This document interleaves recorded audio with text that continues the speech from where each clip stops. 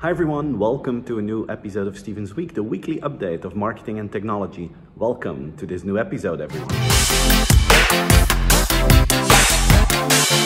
Didi, the Chinese car sharing service, is working on its 5G deployment.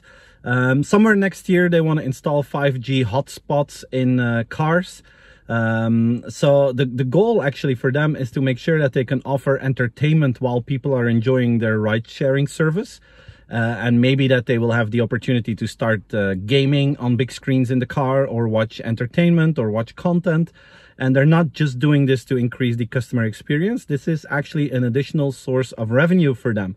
They hope that they will be able to let people pay for that content or that entertainment while they are on board of a Didi car.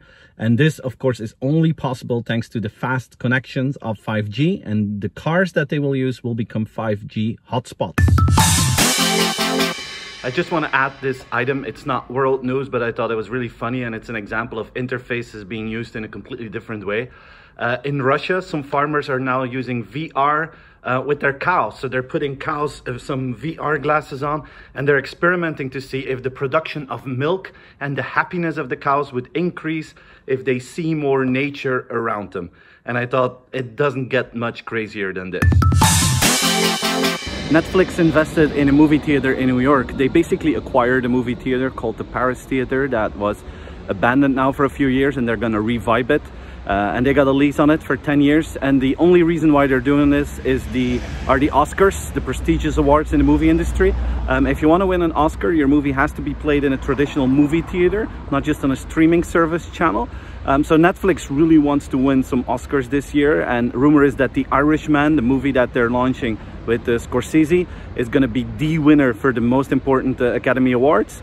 Um, and this is important for Netflix. They really want to win this game. Uh, traditional movie houses don't want to invest in those classic Oscar movies anymore. They just go for superhero movies. But Netflix has that money and they believe with those kind of prestigious awards and prestigious movie projects, they will acquire new um, customers and it will include a new face of growth for Netflix. Amazon uh, announced a pretty big move. They're going to merge the Alexa platform with their uh, web services platform and AWS is the largest cloud platform in the world.